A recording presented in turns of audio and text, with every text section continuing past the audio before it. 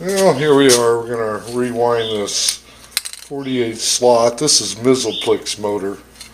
This is the spray-on red insulating varnish. It's got an F class.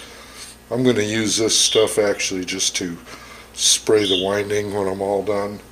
I spray the inside of the stator after I cleaned all the slots out. I took it over to the motor shop and had them burn it out. Then I cleaned it out, just wire brush it. Actually, I kind of use this rotary uh, abrasive wheel on my Makita. Clean it all out. Clean all the burnt stuff out of it. First thing to go in, slot papers. This is a 555 paper, it's called. It's pretty heavyweight stuff. Pretty. They don't have to be curled on the ends or folded or crinkled or anything. Just take it, fold it, start stuffing it in the slot.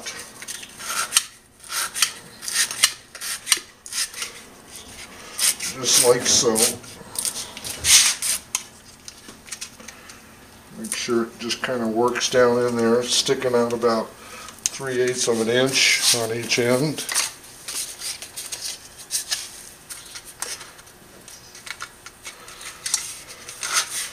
Is actually pretty boring part. And this is the new wind. This is going to be, this wind is going to be 24 wires in hand, one turn. Going to wind it for four poles. This is going to lower the voltage down to about 25 volts because as you should already know, we just do windings for the Curtis controller.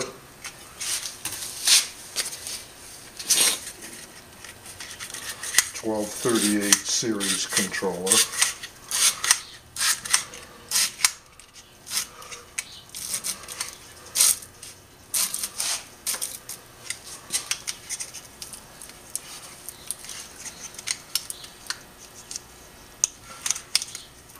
Probably could have cut a little less width on these papers.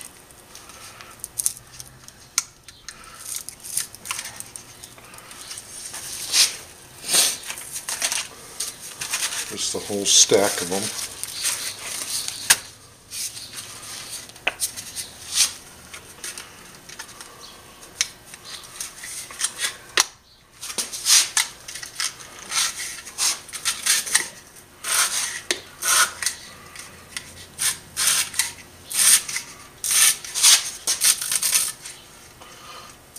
Putting the papers in the slot will kind of make sure it's cleaned out because they kind of drag through there.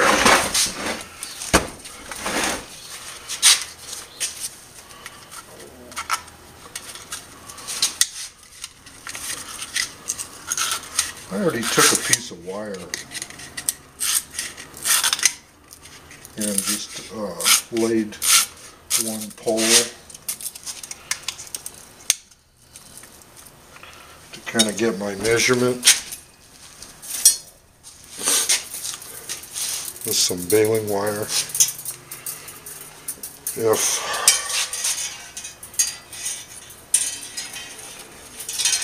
because we go one, two, three, four slots, skip four, then start there. So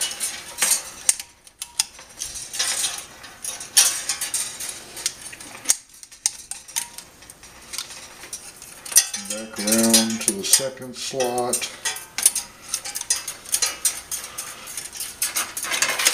Go over, jump over again a slot.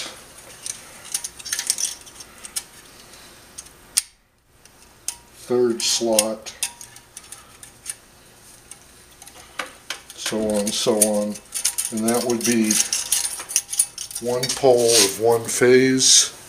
This measured out 10 feet long times 4 is 40 feet. So when we pull out our 24 wires, we're going to pull them out 45 feet long. I'll tell you what, it's no fun when you get to the end and you're short. wire just doesn't stretch good. Well,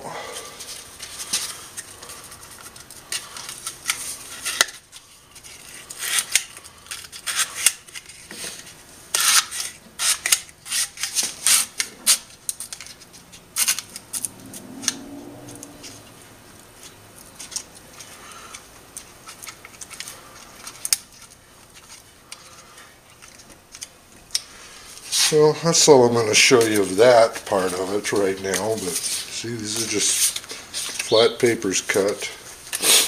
Usually what I do to measure something like that, kind of just take a piece of paper, lay it in the slot,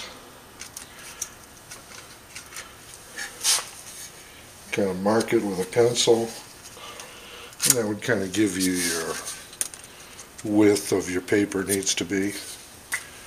And like I said, they're three eighths, actually three quarters of an inch longer than the stator. So they're sticking out three eighths each side.